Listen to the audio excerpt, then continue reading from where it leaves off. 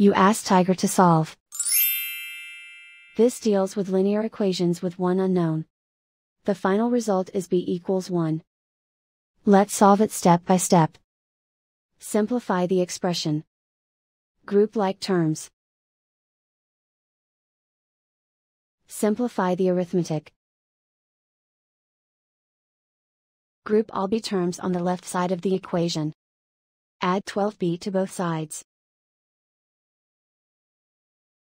Group like terms. Simplify the arithmetic. Group like terms.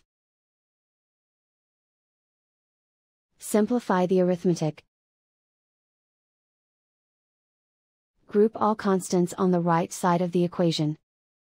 Add 10 to both sides. Simplify the arithmetic.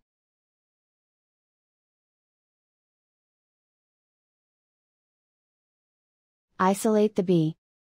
Divide both sides by 18.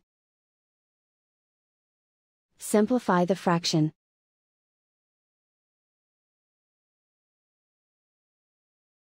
And so the final result is b equals 1.